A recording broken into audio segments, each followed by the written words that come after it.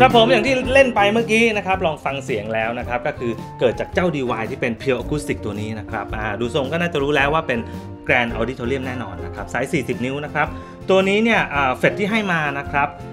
เป็นแบบ medium size นะครับสวยงามมากแล้วก็ถนัดมือมาก touching ดีมาก ๆ เลยนะครับบอกชื่อรุ่นก่อนเลยแล้วกันก็คือยี่ห้อ DY Solo 7 นะครับสีดำนั่นเองนะครับ Solo Seven นี่แหละนะครับ เจ้า Deewhy เนี่ยก็เป็นแบรนด์จากประเทศออสเตรเลียนะครับ ตั้งตามชื่อของโลมา 2 ตัวนี้แหละนะซึ่งเป็นสายพันธุ์ที่มีเฉพาะที่ออสเตรเลียเท่านั้นนะครับเขาระบุไว้ว่าอย่างนี้นะครับเพจเนี่ยก็โดดเด่นมากเลยเป็น rosewood นะครับเป็นแท่งขึ้นมาแบบด้านๆนะครับแล้วก็ทำเป็น sculpture แล้วก็มีรูปโลโก้ของโลมาตรงนี้ด้วยนะครับแล้วก็เขียนสโลแกนของเขาตรงนี้นะครับลูกบิดเป็นสีทองของ DY เองนะครับคอเป็นมะฮอกกานีรวมกับ hardwood ตรงกลางอีก 2 ชิ้นนะครับเพิ่มความแข็งแรงนะ เป็นมะฮอกกานีสีออกเทาๆนะถ้าผมจำไม่ผิดนะครับ ส่วนด้านหน้าตัวนี้มีความพิเศษมากนะครับ มีเทคโนโลยีแฝงไว้ 2-3 อย่างเดี๋ยวผมจะมาไล่เรียงให้ฟังแล้วกันนะครับอ่า Grand Auditorium ของ Deewhy ตัวนี้นะครับ ใช้ไม้หน้าเป็น spruce แท้ๆเลย ก็คือเป็น Top Solid Spruce ถ้ามองดีๆเนี่ยจะเห็นลายไม้ละเอียดอ่อนมากๆนะครับ แล้วก็เป็นไม้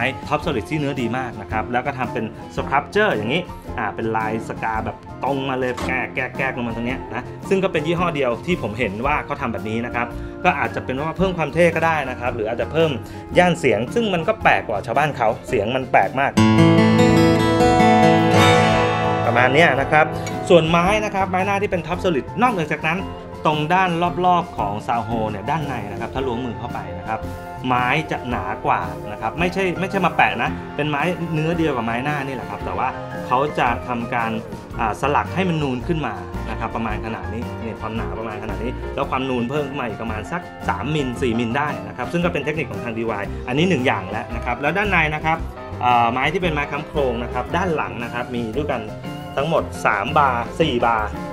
ที่เป็นพาดด้านหลังอย่างเงี้นะฮะ1 2 3 4เนี่ยอ่าจะเจาะรูไว้ทุกๆบาร์เลยนะครับ ในส่วนของไม้ค้ำโครงด้านหน้าก็เป็นแบบ Standard X นะครับ ซึ่งใช้ไม้ spruce เป็นไม้ค้ำโครง bridge เป็น rosewood นะครับ แล้วก็ fingerboard rosewood นะครับ ไม้ข้างกับหลังเป็น laminate rosewood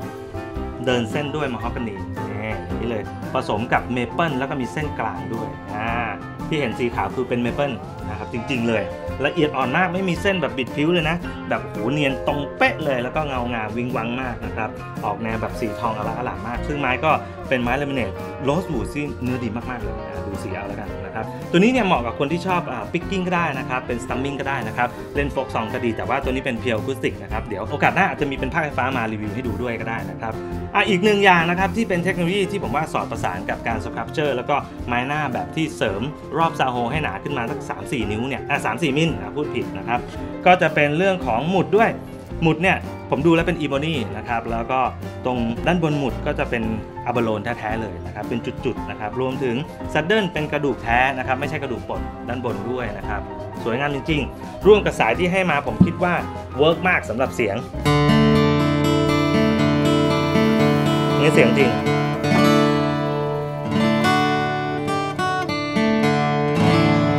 เคเดี๋ยวช่วงเทสเสียงจริงจังเดี๋ยวให้น้องโอ้จัดให้แบบเพียวๆแบบไม่ต้อง EQ อะไรมากเลยนะครับ เอาไมค์จ่อระยะประมาณ 50 เซนแล้วก็เล่นเลยสดๆเลยนะครับ จะได้ฟังเสียงของเจ้า DY Solo 7 สีดำตัวนี้นะครับ ลองไปฟังดูครับ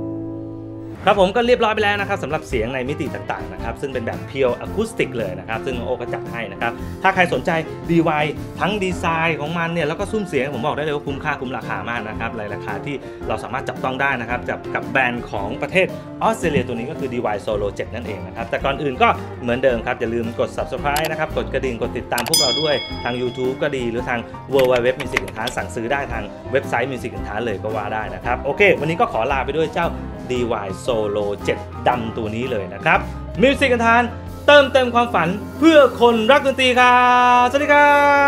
บ